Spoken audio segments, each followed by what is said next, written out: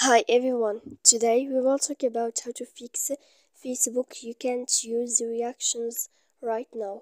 To know how to fix Facebook you can't use reactions right now, you should just go to settings like this, you will click.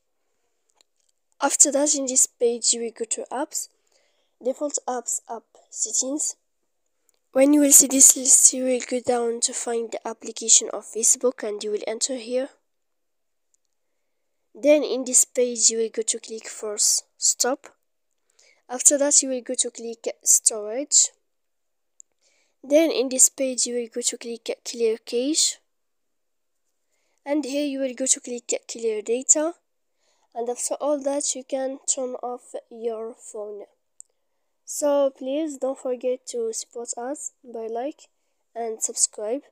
See you next time in another video and thank you for watching